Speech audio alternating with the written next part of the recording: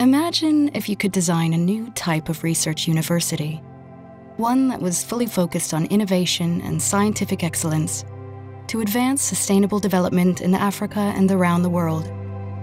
Naturally, it would be a fine place to live and study. Constantly looking for new ways to experiment and learn, such as living labs, using full scale research platforms where ideas on agriculture, mining, water, energy, and urban design can be applied in the field actively collaborating with the best minds at other world class institutions, creating an innovative and entrepreneurial culture of learning by doing, recruiting the best minds from Africa and around the world to help nurture 21st century leaders. All of this anchored in a new green city, itself a full scale lab for sustainable urban development, a university dedicated to imagining and then building a bright, sustainable future for Africa and its people. We'll imagine no more.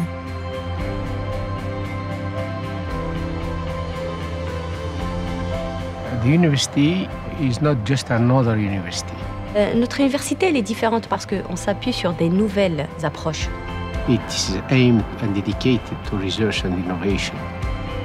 This university is trying to address a significant issue of food security we need to improve crop productivity by 60% and we would like to be able to contribute to that. L'université a une vision et un système qui est totalement différent des autres universités.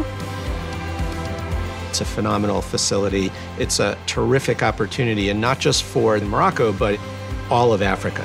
We have collaborations with MIT, with Penn State University in North America, with Canadian universities, McGill. For us, the idea of having a reach across a continent is very exciting. We want to contribute to the education of the next generation of academics. This university is providing the environment to be successful, and if that person is motivated, they will succeed. Given the resources, the people involved, and the overall effort, this is something that has the potential of fundamentally changing the education landscape in Morocco.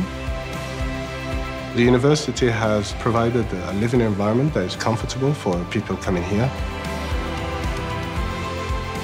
It's not far from Marrakesh and from Casablanca also. Marrakesh is only 30 minutes from here on the train.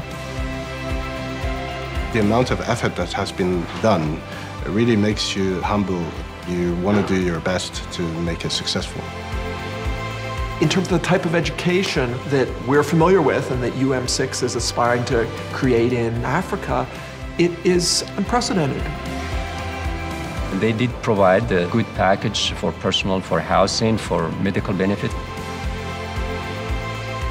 It is a green university looking for top-notch professors.